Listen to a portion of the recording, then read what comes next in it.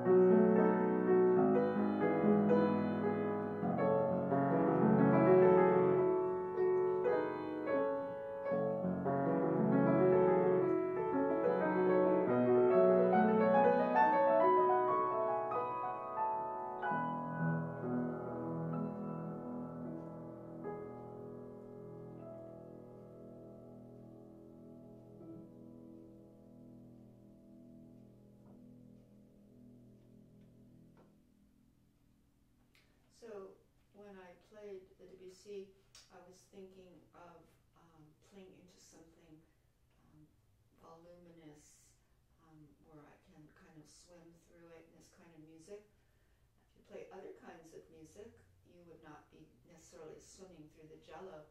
Um, if you played um, Scarlatti, you would think this is a trampoline because, for instance, if you play a fast Scarlatti, one with staccato, you are thinking uh, bouncing around, or any kind of staccato, where you would go.